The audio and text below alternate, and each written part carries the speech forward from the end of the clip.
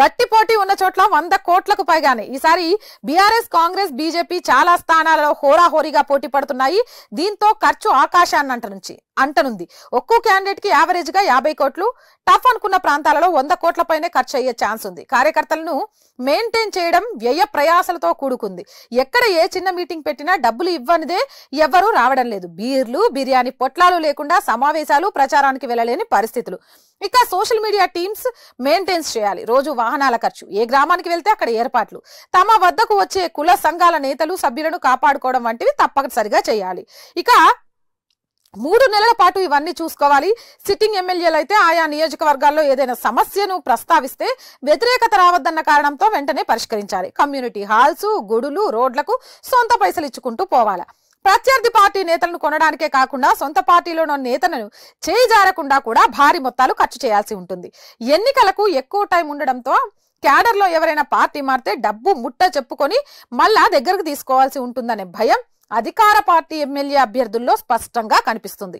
Ticket వస్తుందో లేదో అన్న అనుమానం ఉంటే ఖర్చు చేసేందుకు కొంచెం వెనుకాడేవారు. ఇప్పుడు స్పష్టత రావడంతో అంతా వాళ్ళే ఖర్చు చేసుకోవాల్సిన పరిస్థితి తలెత్తింది.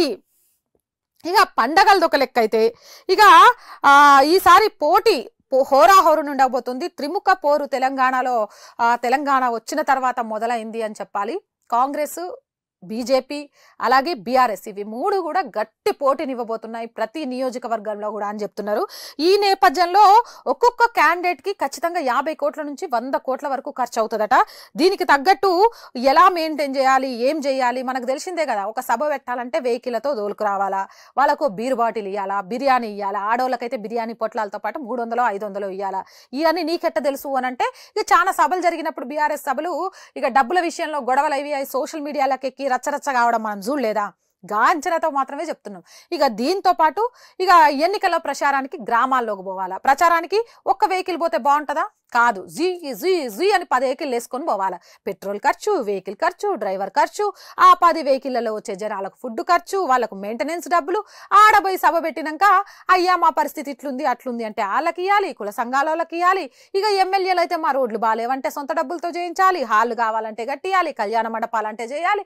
ఆ బాబా ఇవి కాదని పక్క పార్టీలో ఎవడైనా సర్పంచో లేకపోతే ఎవడైనా క్యాండిడేటో గట్టిగా వాడనక ఒక రెండు మూడు వేల మంది జనం ఉన్నారంటే అరే బాబు మా పార్టీలోకి వచ్చేరా? లేకపోతే నాకు ఇండైరెక్ట్గా అయినా సపోర్ట్ చేయరా? నీకు ఏం కావాలో చెప్పు. ఎన్ని కోట్లు కావాలి ఎన్ని లక్షలు కావాలి చెప్పు. ఇస్తా ఇవ్వాలి ఇక గీ సందు చూసి మన పక్కన ఉన్నోడు ఆహా పక్క పార్టీ వాడికైతే ఇస్తావా? నేను వెళ్ళిపోతా అంటే అరే బాబు. నువ్వు ఎల్లకు నీకేం కావాలో చెప్పు నేను ఇస్తా.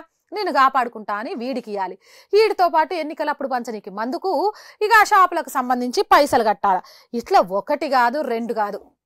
అరే టికెట్ వస్తుందో రాదో అని ఒక తంట అయితే వచ్చిన టికెట్ని కాపాడుకొని హా టికెట్లో గెలవాలంటే మరొక తంట.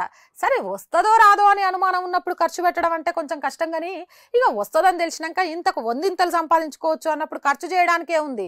మస్తు సిద్ధమైపోయి గదాని కోసం ఏం భూములు మన భూములు అమ్ముదామా బినామీ భూములు అమ్ముదామా అనే ఆలోచనలో పడ్డారట.